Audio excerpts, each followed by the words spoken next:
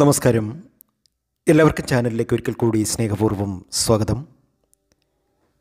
ഒരു പുരുഷനാണെങ്കിലും ഒരു സ്ത്രീക്കാണെങ്കിലും അവരുടെ മനസ്സിൽ തോന്നുന്ന ഒരു പ്രേമം അല്ലെങ്കിൽ സ്നേഹം ഇങ്ങനെയുള്ള വികാരങ്ങൾക്ക് പണ്ടുകാലം മുതൽക്കേ ഉണ്ടായിരുന്ന എതിർപ്പ് ഇന്നും നിലനിന്ന് പോരുന്നു. അതല്ലെങ്കിൽ രണ്ട് പേർ തമ്മിൽ സ്നേഹമാകുന്നു പിന്നീട് ഇവർ തമ്മിൽ കലഹിക്കുന്നു പിരിയുന്നു. എന്നാൽ ഒരാൾക്ക് ഈ സ്നേഹം തിരിച്ചു കിട്ടുവാൻ അവർ വളരെയേറെ ആഗ്രഹിക്കുന്നു. അത് പുരുഷനായാലും സ്ത്രീയായാലും. അങ്ങനെ വീണ്ടും ഇവരെ തമ്മിലടുപ്പിക്കുവാൻ ആ സ്നേഹം എന്നും നിലനിൽക്കുവാൻ ചെയ്യാൻ കഴിയുന്ന ഒരു ചെറിയ ക്രിയയാണ് ഇന്നത്തെ വീഡിയോയിലൂടെ പറയുന്നത്.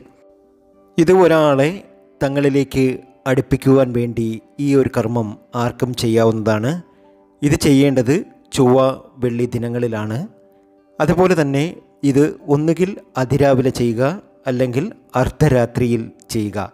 ഈ രണ്ട് സമയത്ത് ഇത് ചെയ്താൽ മാത്രമേ ഇതിന്റെ ഗുണം നിങ്ങൾക്ക് ലഭിക്കുകയുള്ളൂ. കാമുകി കാമുകന്മാർ ആണെങ്കിലും അതുപോലെ തന്നെ ജീവിത പങ്കാളിയാണെങ്കിലും കൂടുതൽ സ്നേഹം കിട്ടുവാൻ കൂടുതൽ കരുതൽ കിട്ടുവാൻ ഈ ഒരു കർമ്മം നിങ്ങൾക്ക് ചെയ്യാവുന്നതാണ്. നിർദോഷകരമായിട്ടുള്ള ഈ കർമ്മം നിങ്ങൾക്ക് തീർച്ചയായും ഗുണം ചെയ്യും. നിങ്ങളുടെ ജീവിതത്തിൽ ഒരുപാട് ഒരുപാട് മാറ്റങ്ങൾ സംഭവിക്കും. നിങ്ങൾ ആഗ്രഹിക്കുന്ന പോലെ നിങ്ങൾ ആഗ്രഹിക്കുന്ന ആ ഒരു വ്യക്തിയെ നിങ്ങളിലേക്ക് അടുപ്പിക്കുവാൻ വളരെ പെട്ടെന്ന് സാധ്യമാകുന്ന ഏറ്റവും എളിയ ഒരു ചെറിയ കർമ്മമാണ്. ഇത് നിങ്ങൾക്ക് സ്വയം തന്നെ ചെയ്യാവുന്നതാണ്. ചെയ്യുന്ന സമയത്ത് കുളിച്ച് ശുദ്ധിയോടുകൂടി ചെയ്യുവാൻ ശ്രമിക്കുക. ഇതിനായി ആവശ്യം ശകലം പച്ചരി വേണം. അതുപോലെ തന്നെ സിന്ദൂരം വേണം. ചുവന്ന സിന്ദൂരമായിരിക്കണം. രണ്ട് ഗ്രാമ്പു ചെറിയ രണ്ട് ഗ്രാമ്പുവും വേണം. ഇത് മൂന്നും ഉപയോഗിച്ച് നമുക്ക് ഈ ഒരു കർമ്മം എങ്ങനെ ചെയ്യാമെന്ന് ഇന്നത്തെ വീഡിയോയിലൂടെ നമുക്ക് പരിശോധിക്കാം. അതിനു മുമ്പ് എന്നത്തെയും പോലെ ഇന്നും നിങ്ങളിൽ നിന്നും ഒരു വിലപ്പെട്ട ലൈക്ക് പ്രതീക്ഷിക്കുന്നു. ഇത്തരം വീഡിയോകൾ നിങ്ങൾക്ക് ഇഷ്ടമാകുന്നു എങ്കിൽ നമ്മുടെ ഈ ചാനൽ ഒന്ന് സബ്സ്ക്രൈബ് ചെയ്യുക ലൈക്ക് ചെയ്യുക മറ്റുള്ളവർക്ക് ഇതൊന്ന് ഷെയർ ചെയ്യുക. ഇത് കാമുകി കാമുകന്മാർക്ക് വേണ്ടിയിട്ടാണ് സ്നേഹിക്കുന്നവർക്ക് വേണ്ടിയാണ്. പരസ്പരം സ്നേഹിക്കുവാൻ ആഗ്രഹിക്കുന്നവർക്ക് വേണ്ടിയിട്ടാണ് ഭാര്യ ഭർത്താക്കന്മാർ തമ്മിൽ സ്നേഹമൊക്കെ കൂടുതൽ നാൾ നിലനിൽക്കുവാനും ആത്മാർത്ഥമായ ഒരു സ്നേഹമുണ്ടാകുവാനും വീട്ടിൽ യാതൊരു രീതിയിലുള്ള അടിയും വഴക്കും പ്രശ്നങ്ങളും ഒന്നും ഉണ്ടാകാതെ സ്വസ്ഥവും സമാധാനവുമായ ഒരു ജീവിതം നയിക്കുവാൻ ഈ ഒരു കർമ്മത്തിലൂടെ നിങ്ങൾക്ക് സാധ്യമാകും. ഒരാളെ തന്നിലേക്ക് അടുപ്പിക്കുവാൻ ഭ്രാന്തമായ സ്ത്രീ പുരുഷ സ്നേഹം ഉണ്ടാകുവാൻ. ഒരു പുരുഷൻ ഒരു സ്ത്രീയെ ഒരിക്കലും വിട്ട് പിരിയാതിരിക്കുവാൻ ഈ ഒരു കർമ്മം നിങ്ങൾക്ക് ചെയ്യാവുന്നതാണ്. ഈ ഒരു കർമ്മം ചെയ്തു കഴിഞ്ഞാൽ തീർച്ചയായും നിങ്ങൾ ആരെയാണോ ഉദ്ദേശിച്ച് ഈ ഒരു കർമ്മം ചെയ്യുന്നത് ആ ഒരു വ്യക്തി നിങ്ങളോടൊപ്പം ജീവിതകാലം മുഴുക്കെ ഉണ്ടാകും എന്നത് യാഥാർത്ഥ്യമാണ്. ഇത് ചെയ്യേണ്ടത് അതിരാവിലെയാണ് അല്ലെങ്കിൽ അർദ്ധരാത്രിയിലാണ്. ചെയ്യേണ്ടത് ഇങ്ങനെയാണ്. ഒരു വെള്ള പേപ്പർ എടുക്കുക. അതിലേക്ക് അല്പം അരി പകരുക. അതിനുശേഷം അല്പം സിന്ദൂരം അതുപോലെ തന്നെ രണ്ട് ചെറിയ ഗ്രാമ്പൂ. ഇത് വെച്ചതിന് ശേഷം നിങ്ങൾ ഈ ഒരു മന്ത്രം നിങ്ങൾ നൂറ്റി എട്ട് പ്രാവശ്യം നിങ്ങൾ ചൊല്ലുക. കൈ ഇതിനുള്ളിൽ വെച്ചതിന് ശേഷം ഈ സിന്ദൂരത്തിന്റെയും ഈ അരിയുടെയും പേപ്പറിന്റെ മുകളിലിരിക്കുന്ന അരിയുടെയും സിന്ദൂരത്തിന്റെയും ഗ്രാമ്പുവിന്റെയും മുകളിൽ കൈ അമർത്തി വച്ചതിനു ശേഷം ഈ ഒരു മന്ത്രം ഇങ്ങനെ നൂറ്റി എട്ട് പ്രാവശ്യം ചൊല്ലുക. മന്ത്രം വളരെ ലളിതമാണ്. ഒരുപക്ഷെ നിങ്ങൾ മറന്നു പോകുമെങ്കിൽ ഒരു വെള്ള പേപ്പറിൽ എഴുതി വെക്കുക. ഓം ഹ്രീം ഹൃദയായ നമഃ. ഓം ഹ്രീം ഹൃദയായ നമഃ. കാമേശി വശീകരണ മന്ത്രങ്ങൾ ഒട്ടനവധിയാണ്. ഒരുപാട് ഒരുപാട് പേരെ തങ്ങളിലേക്ക് അടുപ്പിക്കുവാനും ആ ഒരു സ്നേഹം നിലനിൽക്കുവാനും ഈ ഒരു മന്ത്രം കൊണ്ട് സാധ്യമാകും ഈ ഒരു കർമ്മം കൊണ്ട് സാധ്യമാകും. തീർച്ചയായും നിങ്ങൾ ഉദ്ദേശിക്കുന്ന ഏതൊരു വ്യക്തിയാണോ ആ ഒരു വ്യക്തി നിങ്ങളിലേക്ക് വരും എന്ന കാര്യത്തിൽ യാതൊരു സംശയവും വേണ്ട. അത്രയേറെ പവർഫുള്ളുള്ള ഒരു സംഭവമാണിത്. ഇത് തീർച്ചയായും നിങ്ങൾക്ക് ചെയ്യാം. ഒരിക്കലും ദുരുപയോഗം ചെയ്യരുത്. ആവശ്യഘട്ടത്തിൽ മാത്രം വളരെ അത്യാവശ്യമെന്ന് തോന്നുന്ന സമയത്ത് മാത്രം ഈ ഒരു കർമ്മം ചെയ്യുക. ചെയ്യുന്ന സമയത്ത് നിങ്ങൾ ആരെയാണോ പ്രണയിക്കുന്നത് അല്ലെങ്കിൽ ആരുടെ സ്നേഹമാണോ നിങ്ങൾക്ക് വേണ്ടത് ആ ഒരു വ്യക്തിയെ മനസ്സിൽ സങ്കല്പിച്ചുകൊണ്ട് വേണം ഈ ഒരു കർമ്മം ചെയ്യേണ്ടത്.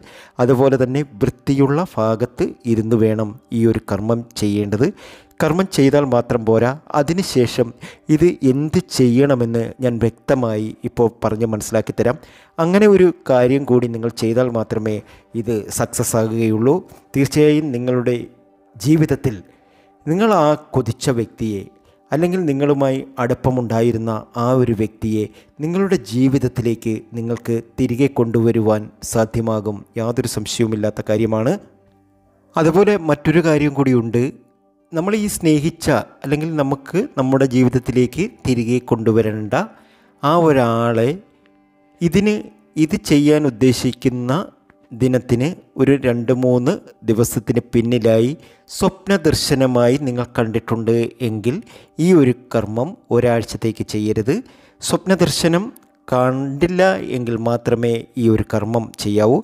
അതായത് പറഞ്ഞു വരുന്നത് മറ്റൊന്നുമല്ല ഇദ്ദേഹത്തെ ഈ കർമ്മം ഉദ്ദേശിക്കുന്നതിന്റെ തലേന്ന് നിങ്ങൾ സ്വപ്നത്തിൽ കാണുന്നുണ്ട് എങ്കിൽ തീർച്ചയായും ആ ഒരു കർമ്മം തൽക്കാലത്തേക്ക് ഉപേക്ഷിക്കുന്നതാണ് നല്ലത്. സ്വപ്നദർശനം ഇല്ലാത്ത സമയത്ത് മാത്രം ഈ ഒരു കർമ്മം ചെയ്യുക. അതുപോലെ തന്നെ നിങ്ങളുടെ ജീവിതത്തിലേക്ക് ഇദ്ദേഹം മടങ്ങി വരുമ്പോൾ ഇദ്ദേഹവുമായി വളരെ നല്ല സ്നേഹത്തിൽ ഇടപെടുവാൻ ശ്രമിക്കുക. ഇങ്ങനെ ചെയ്തതിന് ശേഷം അതായത് നമ്മൾ ഈ കാര്യം നൂറ്റിയെട്ട് പ്രാവശ്യം ഓം ഹ്രീം ഹൃദയായ നമഹ എന്ന മന്ത്രം ചൊല്ലിയതിന് ശേഷം ഇത് ഈ വെള്ള പേപ്പർ കൊണ്ട് തന്നെ നന്നായിട്ട് പൊതിയുക. പൊതിയതിന് ശേഷം ഒരു റബ്ബർ ബാൻഡ് ഇട്ട് കെട്ടിയതിന് ശേഷം നമ്മൾ കിടന്നുറങ്ങുന്ന കട്ടിലിൽ തലയിണയുടെ അടിയിലായിട്ട് ഇത് വയ്ക്കുക അങ്ങനെ പതിനൊന്ന് ദിവസം നമ്മുടെ കട്ടിലിൽ നമ്മുടെ തലയിണയുടെ അടിയിലായിട്ട് ഇത് സൂക്ഷിക്കണം.